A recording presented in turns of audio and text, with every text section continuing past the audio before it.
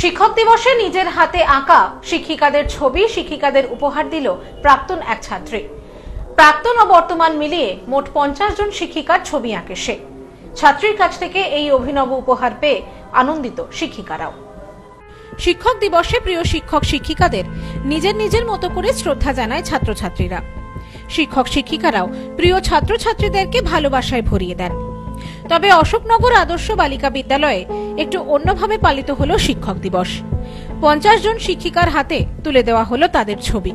স্কুলের এক প্রাক্তন ছাত্রী নিজের হাতে ফুটিয়ে তুলেছেন প্রিয় শিক্ষিকাদের ছবি। ছবিতে জায়গা করে নিয়েছে প্রাক্তন ও বর্তমান শিক্ষিকারা। প্রিয় ছাত্রীর হাতে আঁকা ছবি পেয়ে আপ্লুত শিক্ষিকারাও।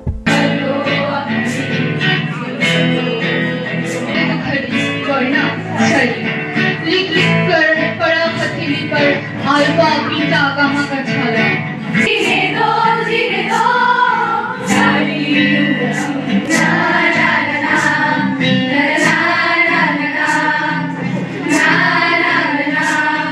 স্কুলের প্রাক্তন ছাত্রী পল্লবী ঢালি।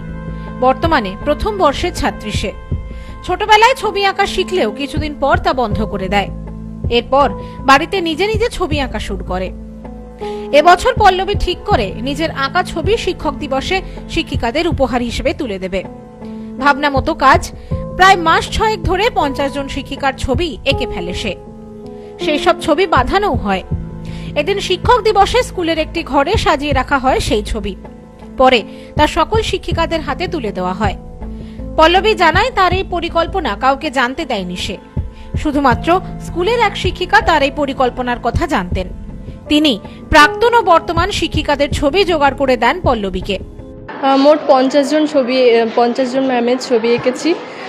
গত ছ মাস থেকে আমার এইচএস পরীক্ষা যখন স্টার্ট হয়েছিল, সেই মাস থেকেই স্টার্ট করেছি। আমি ভেবেছি এরকম এরকম আশ্চর্যজনক গিফট হয়তো কখনো হয়নি। তাই আমি, আমার মতো করে আমি দিতে চাই ম্যামদের সব বাঁধানো খরচটা আমার পারিশ্রমিক থেকে যেমন মেহেন্দি পরানো তারপর পোর্ট্রেট করা, এগুলোর সব পারিশ্রমিক মিলিয়ে মোট আট হাজার টাকা ব্যয় হয়েছে। হ্যাঁ হ্যাঁ বাবা খুব হেল্প করেছে। বাবা আমার থেকেও এক্সাইটেড ছিল।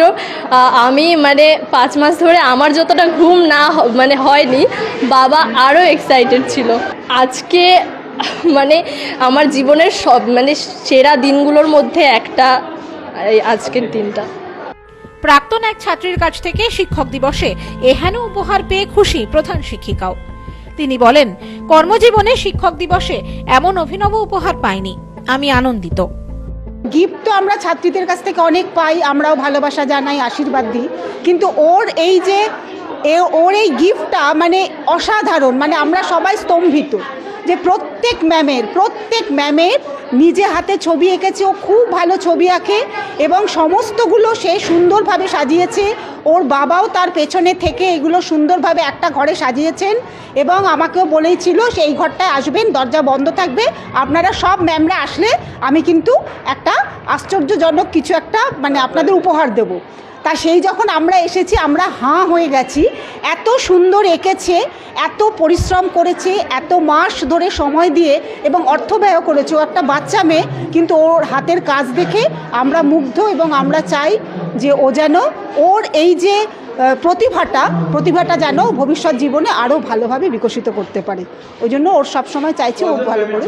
Bureau report, news no man's land, Ashoknagar.